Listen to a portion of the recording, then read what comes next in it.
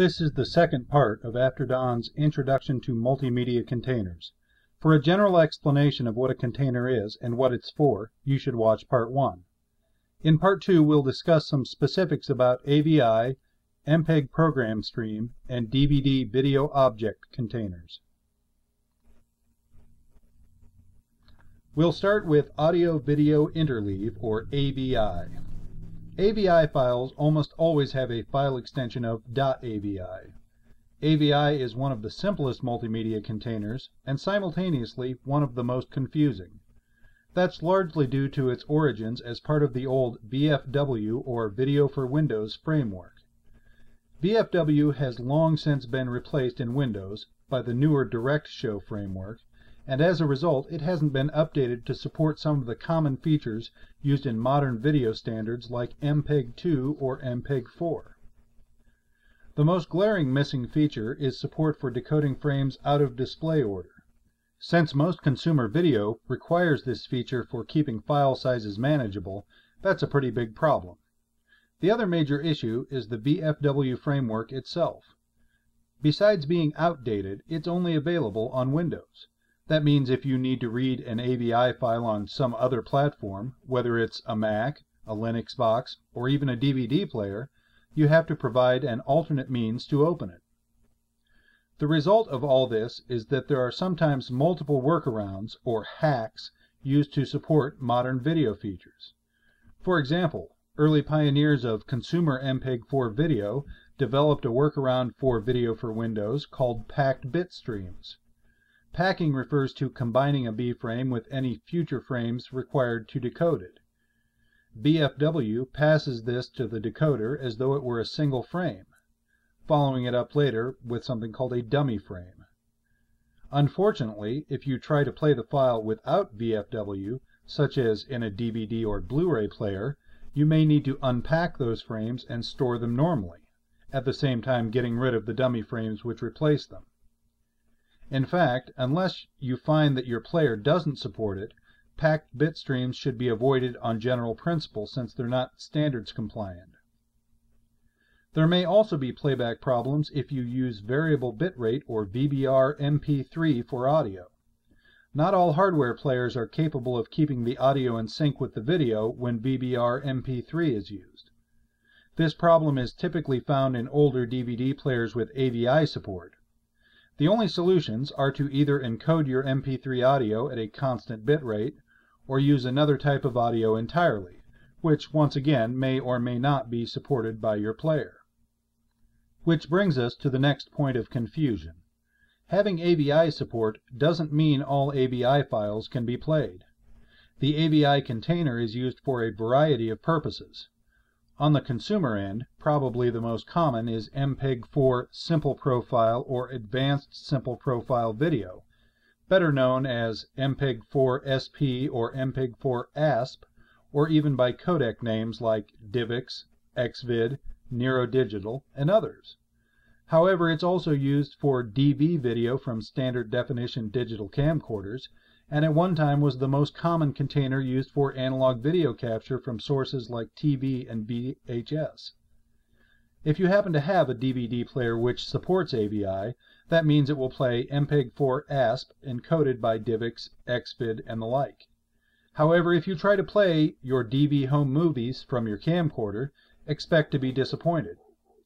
While your player theoretically could demux the audio and video, assuming it knew what they were, it will assume the video is encoded as MPEG-4 if it's in an AVI file, and in fact won't even have the necessary decoder to play the video. As long as you are aware of the environment you'll be playing your files in, like whether VFW is used and what video and audio formats are supported, AVI can still be useful. But it's far from a universal solution, and to a large degree has already been replaced by some of the other containers we'll be looking at. Where AVI is still very useful is video editing, particularly at the professional and prosumer levels. In this area, things like B-frames and VBR audio aren't generally considerations. What is important is using a container that's supported by a wide range of software, which is arguably AVI's greatest strength.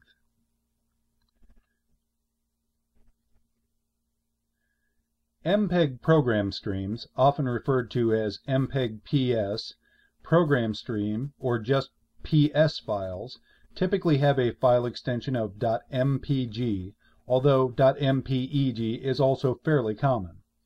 It was introduced as part of the MPEG-2 family of video and audio standards.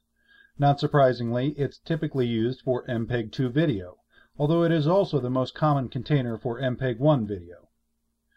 Going strictly by MPEG specifications, the standard audio type for program stream files is what's known as MPEG audio. This is audio matching the MPEG-1 Layer 2 standard, more commonly referred to as MP2 or simply MPA. And yes, this is the predecessor of the MP3 audio commonly used for compressing music files. With the widespread success of DVD and digital TV, the use of Dolby Digital or AC3 audio has generally replaced MPEG audio in program streams. While you may still find it in some PS files, MPEG audio is not all that common. Like all MPEG standards, development of the program stream container was coordinated by a standards body called the Motion Pictures Experts Group. Many organizations and companies participate in their work, but they are the ones who define the standards based on that work. As a result, those standards are intended specifically to work with each other. MPEG containers are developed to contain MPEG video and MPEG audio. But that doesn't mean only MPEG formats could be put in an MPEG container. If that were the case, Dolby Digital couldn't be used. The reason it can be used is a feature included in the MPEG PS standard called private streams. A private stream is essentially one that's not specifically addressed by the program stream standard, it may also be referred to as a non-standard stream. That doesn't mean there isn't a standard for using that format, just that it's not part of the basic MPEG PS standard, or in fact an MPEG standard at all.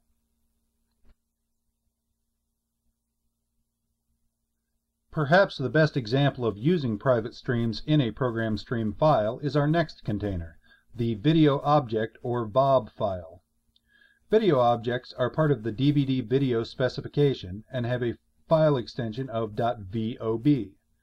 In most respects, a VOB file is identical to an MPEG program stream. In fact, you can even change the file extension from .vob to .mpg and open it in most programs with PS file support. However, there are differences between VOB files and regular program streams. For starters, there are specific restrictions on the type of streams allowed, which ensures any DVD player will be able to play them. The DVD video standard includes a list of mandatory types and another list of optional ones. Mandatory streams must be supported by all DVD players. Optional streams are still DVD compliant, but won't be playable by all DVD players. VOB files on DVD video discs may not be bigger than 1 gigabyte. Since most titles on a DVD take up at least 4 to 6 gigabytes once you add up all the streams, they are normally broken into individual 1 gigabyte files, or actually just under 1 gigabyte. However, it is possible for VOB files to be larger than that. Just keep in mind that they won't be DVD compliant and will need to be split if you author a DVD with them. Video in a VOB file will be of one of two stream types, both of which are mandatory meaning, once again, they are supported by all players. They are MPEG-2 and MPEG-1. There are also other requirements for the video, such as matching particular resolutions and frame rates designed for either the PAL or NTSC analog television standards, but we don't need to get into that kind of detail here. For audio, there are four options. The first, and the only one which is a standard type for the program stream container video objects are based on, is MPEG audio. For PAL DVDs this is considered a mandatory stream, but for NTSC it's optional. In theory that means a PAL DVD could use MPEG audio as its only audio stream. In practice this hasn't really been done much since the early days of DVD. Most commonly, the audio streams found in VOB files are encoded as Dolby Digital, a mandatory stream for both PAL and NTSC. If only one audio stream is present, it will almost always be Dolby Digital. The last mandatory stream type is LPCM, or uncompressed audio. This is similar to the audio used on audio CDs, with some minor technical differences.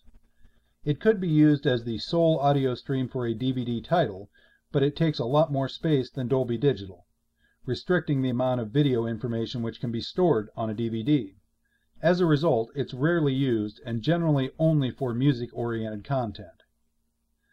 The last audio type allowed in VOB files is DTS, which is an optional stream.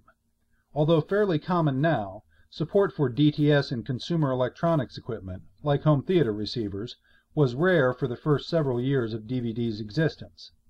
This, combined with the relatively high bit rate compared to Dolby Digital, and the fact that DTS may not be the only audio stream on a DVD, remember it's an optional stream type, makes DTS pretty rare on DVDs. Finally, there may be sub-picture streams and closed captions. Sub-pictures are still images, usually used for subtitles. They are literally images which are displayed over the video. In some cases they are also used to display non-text images. The most famous of these is probably the Follow the White Rabbit feature on the DVD of The Matrix. In that case a picture of a white rabbit flashed on the screen momentarily to show the viewer when he could access alternate content while playing the movie. Closed captions, often referred to as line 21 captions, are a unique type of stream which is actually added to the analog video output of a DVD player. They are a special type of subtitle for the hard of hearing. Typically they include both a transcription of dialogue and a description of other sounds. Closed captions are only used for NTSC formatted DVDs. The other identifying feature of VOB files is the addition of information designed to improve random access. Random access just means skipping from one point in the video to another without playing the content in between. Like Dolby Digital, LPCM, and DTS, this information is considered a private stream with respect to the MPEG program stream format. This concludes part two of our introduction to multimedia containers. Continue to the third and final part to learn about the MPEG transport stream, Blu-ray BDAV, MP4, and Matroska containers.